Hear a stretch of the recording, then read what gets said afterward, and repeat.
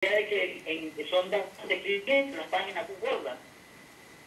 Entonces, si nosotros perdemos esa información, nos puede crear una gran demanda.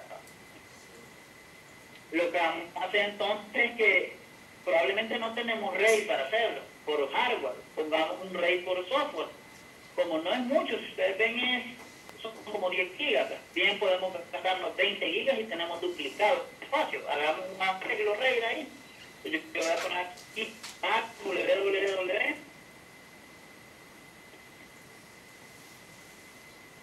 Y le vamos a poner la posición X4 lógica y aquí le vamos a poner rey de nivel 1 hasta ahí no sé si todos tienen alguna pregunta duda va, ahora que ya tengo esto voy a pensar en los espacios Veamos el rey este que tenemos acá. El rey tiene 10 gigas. Tenemos según esto. Aquí estaba. Doblado. Entonces necesitaría dos pedazos. Entonces le vamos a poner aquí 10 gigas por 2, que serían 20 gigas. Eso es lo que vamos a necesitar ahí para tener un espejo. Hasta ahí estamos bien. Pregunta. Ahí llevamos 80 gigas ganados. 20 parte arriba y 20 de acá serían, no, 20 de arriba y 20 de acá serían 40, perdón, 40, vamos, nos quedan 260. Nos quedan 260. Ahora tenemos la base de datos, ¿cuánto pesaba? 48, si ustedes ven. Pero eso es creciendo mensualmente. Entonces, lo que vamos a hacer es que esos 200 tenemos, espérame, 20 y 20, 40.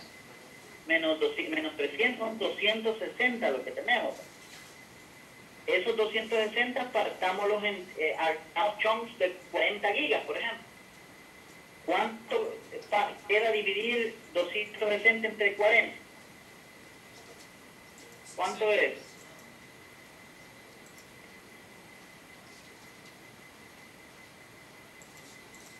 ¿Cuánto es eso? ¿Cuánto es, 6 por 4, 24. 6 por 4. 600. 6.5. 6.5. Sí. Va, entonces dejamos 6. Voy a dejar 6 cabal aquí. Va, entonces comencemos. ¿Cuánto va a ocupar este? Vamos a dejar un pedazo de LVM de 40 acá. Y aquí ya, ya instalamos si el espacio para una partición es 7 para una distribución. Ahora en el home, ¿cuántos usuarios teníamos? Teníamos 70. Ahí vamos a necesitar dos, dos chunks de 40. Le voy a poner 40G por 2 igual 80. ¿Le vas a dar 10 de seguridad? ¿Le vas a dar 10 gigas más entonces? Sí, porque ahí tenemos 70. Ahorita voy a dar 10 gigas más, nada más. ¿Cuánto nos está quedando aquí? Serían 20, 40, 80 y 80, 170. ¿Cuánto nos queda? 90,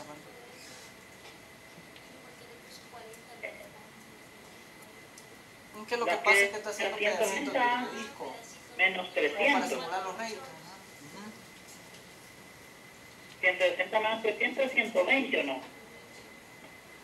No, pues 140. ¿A tierra? Sí, 140 son.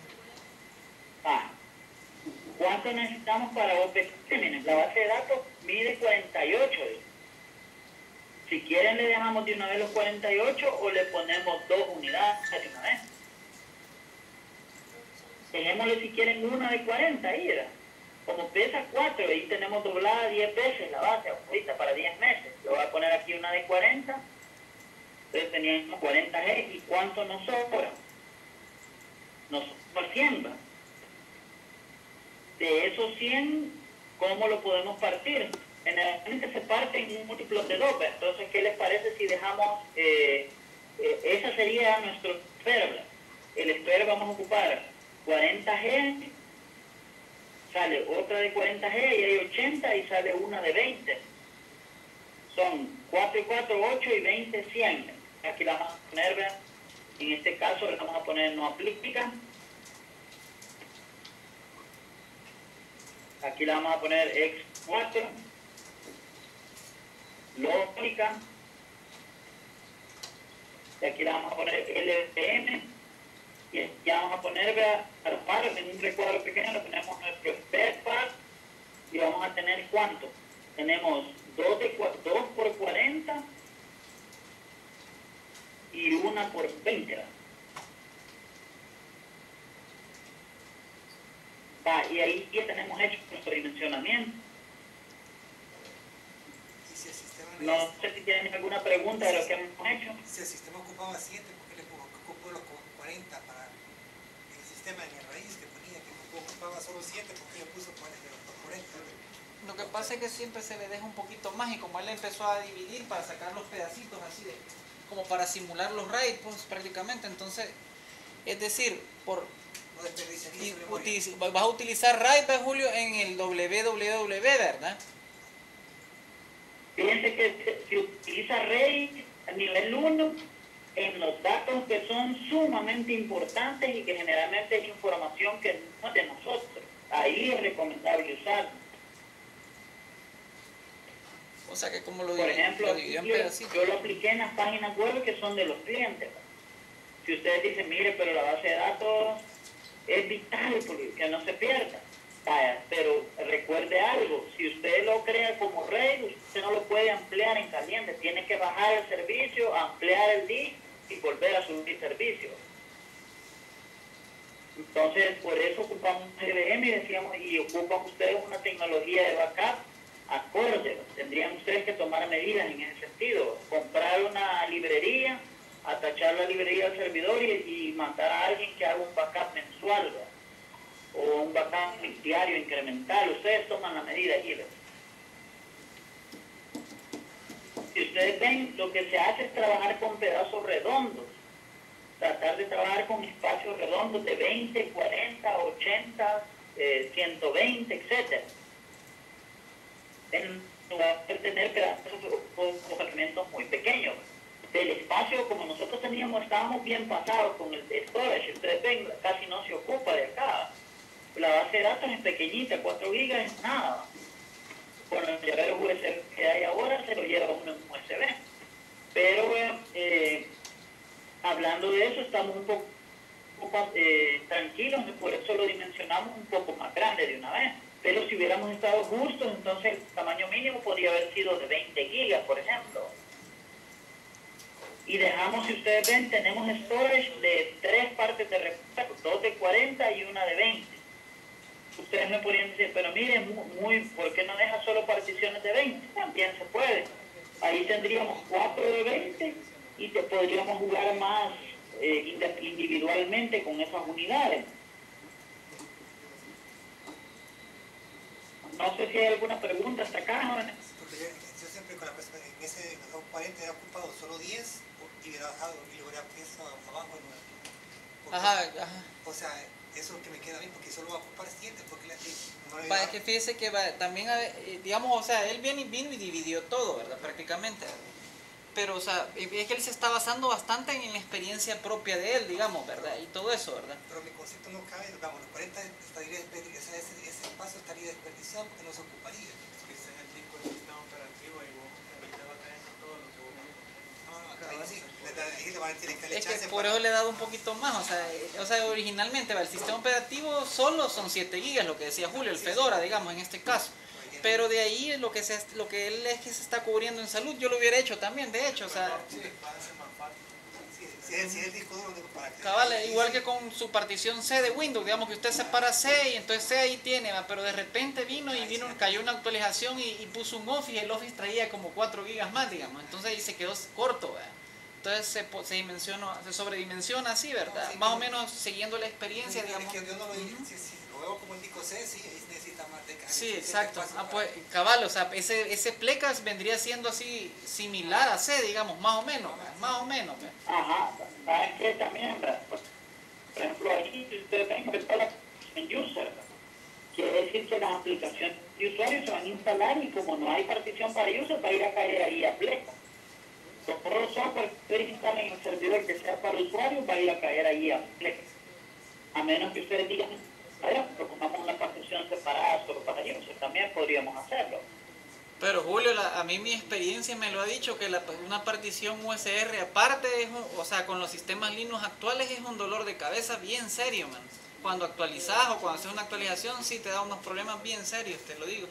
Yo tenía como... ¿Ponerla o no ponerla? Ajá, ponerla. O sea, pref- yo prefiero, de todos modos, el sistema operativo, mejor prefiero darle más dimensión a, a- a la raíz. Y porque es por, el mismo, por la misma forma actual de cómo se maneja la paquetería en los diversos sistemas Linux. Te da un problema ahí a veces cuando querés actualizar, digamos, entonces da algunas inconsistencias, más que todo a nivel del LVM, man. Entonces mejor dejarla una sola partición. Yo así lo, le- ¿En me, me he acostumbrado a dejarlo, man. Esa es como buena práctica, sí, digamos, a partir de mi experiencia. Esa regla la, segui- nos la aprendimos nosotros porque instalamos casi 20 equipos y entonces nos dio el problema que al actualizar no actualizaba correctamente y prácticamente nos tocaba volver a reinstalar. Entonces mejor dejamos USR junto con, con el root. Correcto. Ah, fíjense que, como ustedes ven, los requerimientos que pusimos pues, eh, son los requerimientos que se necesitan, digamos. Pero si ustedes tienen más espacio, nosotros nos quedábamos bailando quizás con casi todo el disco, vamos a ocupar de y lo dejamos cabal dimensionado para los 10 gigas. pues. Ahí, así como lo tenemos, tenemos un sistema bien relajado, es decir, que puede crecer bastante sin necesidad de estar haciendo mucho mantenimiento y todavía nos quedaron un montón de partes de repuesto. Esas partes de repuesto las vamos a usar vea, para ir adicionándolas, en donde se vaya acabando. Obviamente, ¿a dónde las podemos adicionar? Solo las podemos adicionar en OPT, en Home y en Pleca. Solamente ahí porque solo esas son LVM. En caliente solo en esas lo podemos usar. Hay gente que deja, deja unidades RAID también, ¿verdad? pero fíjese que realmente no es buena práctica porque al final, si usted deja una unidad tiene espacio Lo ahí. y cuando lo va a ocupar, o sea, al final tiene que bajar los servicios, no tiene mucho sentido. Lo que se hace mejor es conseguir un RAID por software, por hardware.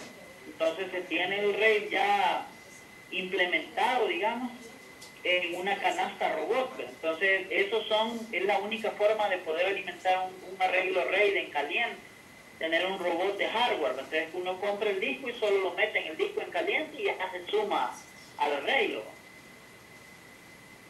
O se deja como expert del arreglo. Pero eso es automático, si uno no hace nada más que meter el disco y él lo adiciona. Generalmente la mayor parte de los robots funcionan así. No sé si hay alguna otra pregunta. No, Julio. ¿Vas a proceder a instalar o, o crees que no nos alcanza el tiempo? Ah, Fíjense que yo no sé si, yo creo que sí nos alcanza, por lo menos para lo principal. Yo no voy a, no voy a dejar ahorita instalando. O no sé, ustedes me dicen si instalamos o no. Instale porque ahorita pues sí, sí ya están picados ellos.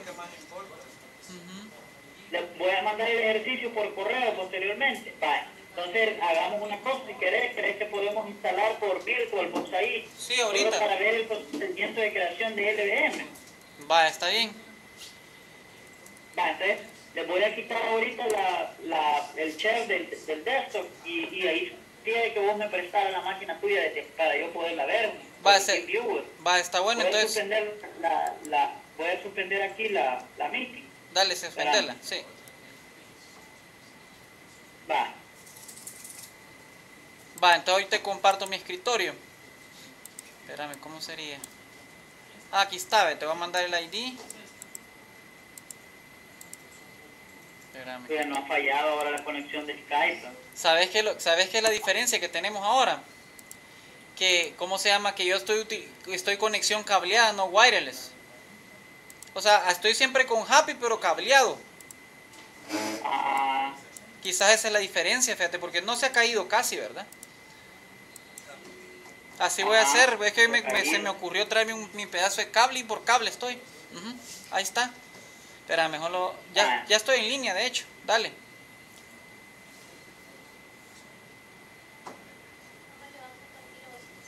Le voy, le voy a compartir mi escritorio para que él utilice el VirtualBox y aquí nos va a quedar la virtual en todo caso. Ajá, cabal. Ah, que está activating todavía.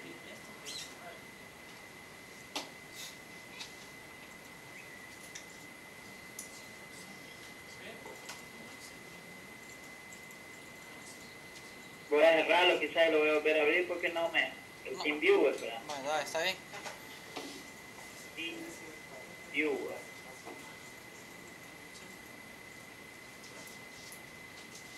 Vaya.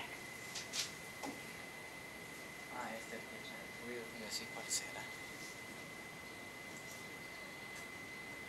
Me dice not ready. Please check your connection. Pero fíjate que dice listo para conexión segura, dice. Quitarle los espacios, dice. A No, la- no, o sea que es aquí, donde me dice a mí es aquí en la red, quizás por eso, que no lo tengo Sí. conectado, no lo tengo Sí, ahí va, connecting to partners, ahí va.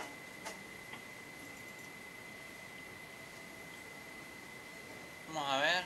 Connecting, connecting ya, ya bien.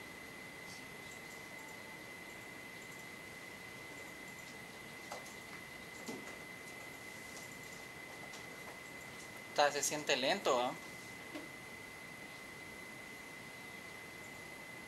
Ya te pidió la clave. No, todavía no está connecting todavía. Ah, aquí creo que ya cayó. No. Y no, no tenés firewall ahí de casualidad. No, no, no, no tengo ahorita. Debería, o sea, si querés la rellamo por la o te le pongo una contraseña personal mejor quizás, pero te voy a rellamar acá a ver. No, espérate. Connecting está todavía. Partner IDG, aborta. Le doy otra vez aquí, connecting to partner, connecting. Y ahí se ha quedado. Cerrarlo y volverlo a abrir, dicen, me recomiendan aquí los compañeros. Va. Ahí lo cerré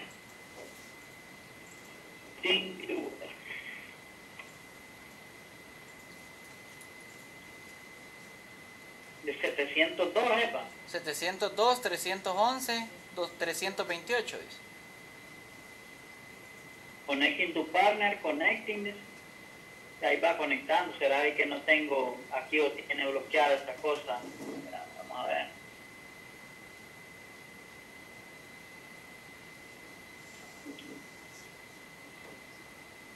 Si no, lo que podría hacer que es cerrarlo yo, ¿verdad? Voy a cerrarlo, espérame.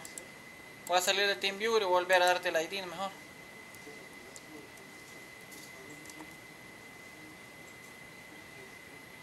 Vale, hoy te lo mando de regreso. El ID es el mismo, fíjate. Solo el password te voy a cambiar, te, te voy a dar. Pero que fíjate que lo que a mí me extraña es que a uno cuando está listo de una vez te carga, te carga ahí también a vos tus datos para que vos te puedas conectar ¿no? Ajá, sí. o le puedas dar a otra persona y aquí no me aparecen a mí.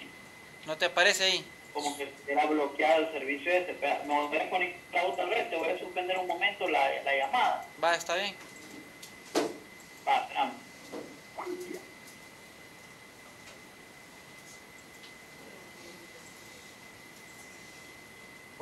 Alguien de ustedes que tenga TeamViewer se puede pegar ahí solo para ver si... En teoría debería funcionar porque ahorita no- hasta, hasta raro he sentido que no haya caído casi. Vea que casi no se caía.